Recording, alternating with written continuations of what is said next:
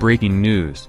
Vladimir Putin to hold crunch talks with Angela Merkel on controversial gas pipeline deal. Russian President Vladimir Putin is set to meet German Chancellor Angela Merkel in Berlin on Saturday for crunch talks on the contentious Baltic Sea gas pipeline, a German government official has confirmed. The two world leaders, who have a checkered history, will meet at the German government's 18th-century palace 50 miles north of Berlin.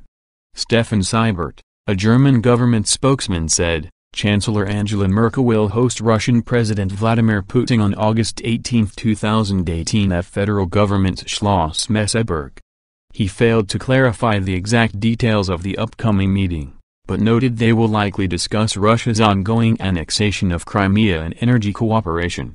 The official told RIA Novosti earlier on Monday, you can't say what exactly will be discussed at such a high-level meeting. Steffen Seibert I can imagine that bilateral ties, the Syria conflict, eastern Ukraine reconciliation, as well as energy cooperation will be on the agenda. President Putin and Chancellor Merkel last held face-to-face -face meetings in the Russian resort city of Sochi in May and tackled issues including President Donald Trump's decision to withdraw from the Iran nuclear deal and the political transition in Syria. The world leaders are expected to discuss the progression of the natural gas project Nord Stream 2, which intends to expand an existing pipeline between Vyborg in Russia to Greifswald in Germany, in order to increase annual capacity up to 110 billion cubic meters.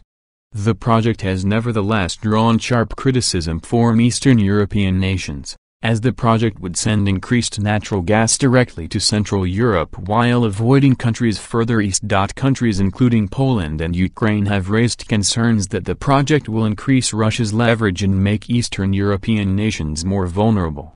Ukraine is set to lose up to 3 billion a year in pipeline transit fees if Russia can divert natural gas across the Baltic Sea and away from a pipeline currently running through Ukraine.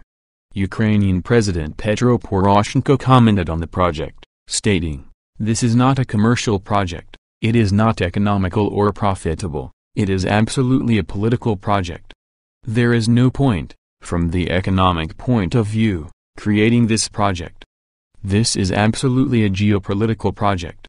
However Mr. Seibert noted that the project still intends for Ukraine to retain a role as a transit country.